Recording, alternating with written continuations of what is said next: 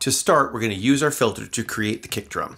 Turn up your ADSR about three quarters of the way up, give it a little bit of decay and a lot of release. I have my frequency set to a little bit above 100, fine-tuned to zero, and resonance about three quarters of the way up. Then plug the output of the voltage control filter into switch A of the electronic switch. Next, we have to create a hi-hat.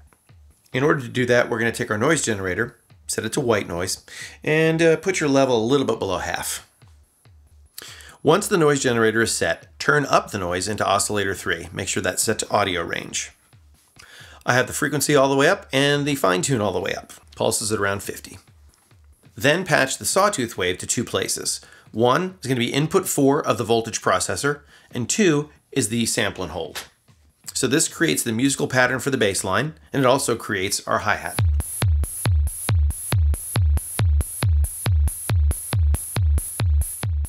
So oscillator 3 is making our hi-hat sound. We're going to go to input 4 on the voltage processor and out of the first voltage processor into input B of the voltage controlled switch. So essentially we're taking the voltage processor and instead of processing voltage, we're turning it into a mixer. This is just for hi-hat volume.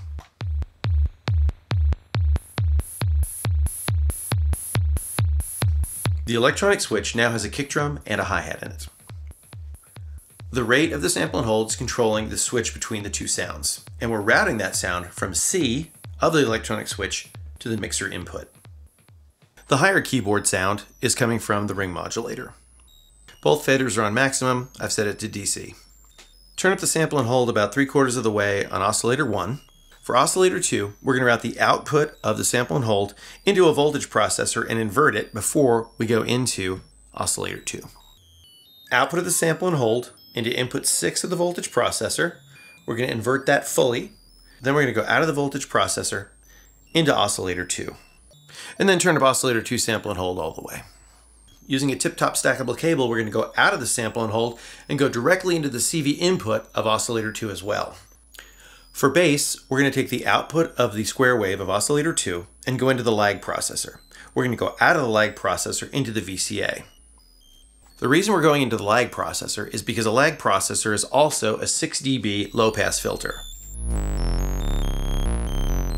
And for this sound, I thought that was a little too raspy, so I wanted to cut it back a bit.